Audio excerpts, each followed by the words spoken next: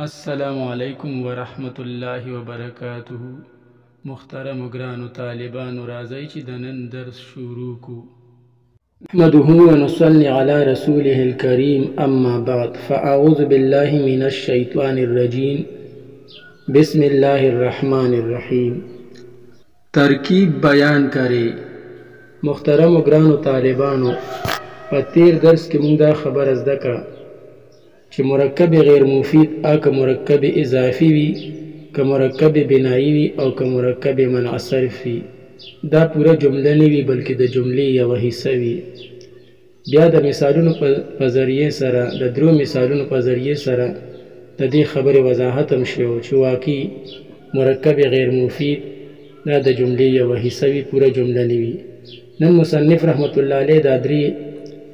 جملې ورکړي دي او د دې د ترکیب موږ نه تقاضا کوي چې د دې دریو جملو تاسو ترکیب وکړئ. په ننني درس کې مصنف رحمت الله علیه دا درې جملې ورکړې دي او موږ نه مصنف رحمت الله علیه د دې خبرې تقاضا کوي چې تاسو د دې جملو ترکیب وکړئ چې دا خبره ښه واضحه شي چې واقعي مرکب غیر مفید دا پوره جمله نه وي بلکې د جملې یوه حصه وي نو ګورئ ړومبۍ جمله ده قلم زیدن نفیس قلم زید نفیس زید کا قلم عمده هې د زید قلم عمده دی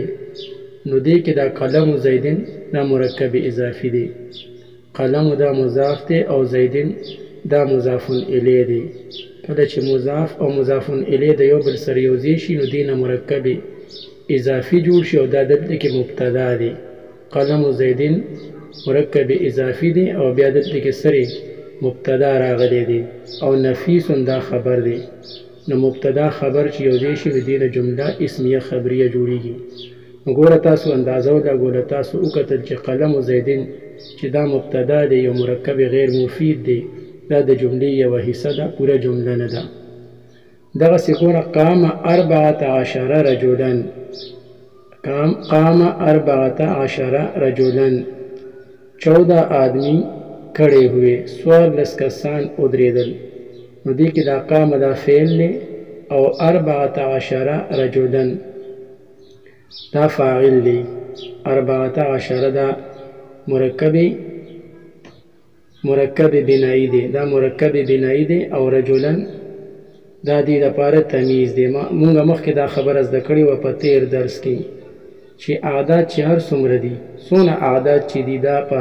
دا چې کله په عبارت کې راشي نو دا ممیز واقع کیږي ترکیب کې به دا ممیز وي او د کوم څیز چې په دې، د دې اعدادو په ذریعه باندې شمیر کیږي، کوم چې معدود وي، هغه ورله تمییز راځي. نو دا اربعة عشرة دا ممیز شو، مرکب یې منع صرف دی، مرکب یې بنائی دی او دلته کې دا ممیز دی، مرکب یې بنائی دی او ممیز دی او رجلا ورته تمییز دی. ممیز اربعة عشرة او رجلا تمییز دا چې یو ځای شو نو دا.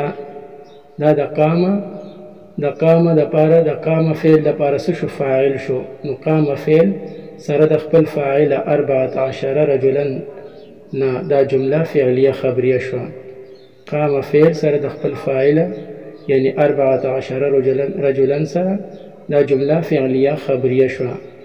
نو ګوره تاسو کتل چې دلته کې دا اربعه عشر چې دا د رجلا سره یوځی شي نو دا د قام د پاره فاعل راځي او دا د پوری جمله دا پوره جمله نه ده بلکې د جملې یوه حصه ده قام اربعه عشر رجلا څوارلس کسان ودرېدل. خالد تاجر حضرموت خالد حضرموت کا تاجر هې خالد د حضرموت تاجر دی دلته کې دا خالد دا مبتدا رې او تاجر حضرموت دا مرکب اضافی دی او د خالدون مبتدا لپاره خبر دی تاجر مضاف دی او حضرمو ته چی دا دبعلبک کپرنګی مرکب منع صرف دی